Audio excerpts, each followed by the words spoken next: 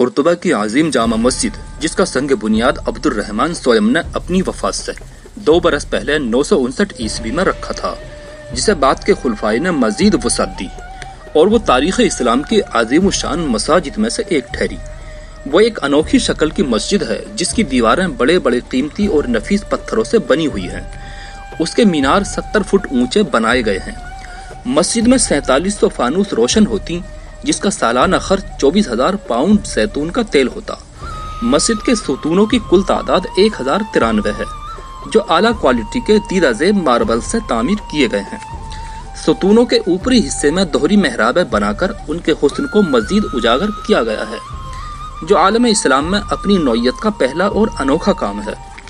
मस्जिद की तामीर में इस्लामी शान शौकत और इस्तकामत देखने की है। जो आठवीं सदी ईस्वी में कुर्तबा के अंदर ऐसी हसीन और जमील और मज़बूत इमारत का वजूद हैरान कन है, जबकि इस दौर में इंजीनियर्स टेक्नोलॉजी भी इतनी क्वालिटीफुल नहीं थी। मस्जिद की तामीर में नक्काशकारी का काम अपनी नफासत और दीदा जेब रंगों के हसीन इम्तजाज से इंतहाई खूबसूरत शक्ल में कंपोज किया गया है, जिसे देखकर आज भी इंसान की आँखें हैरान हो जाती हैं।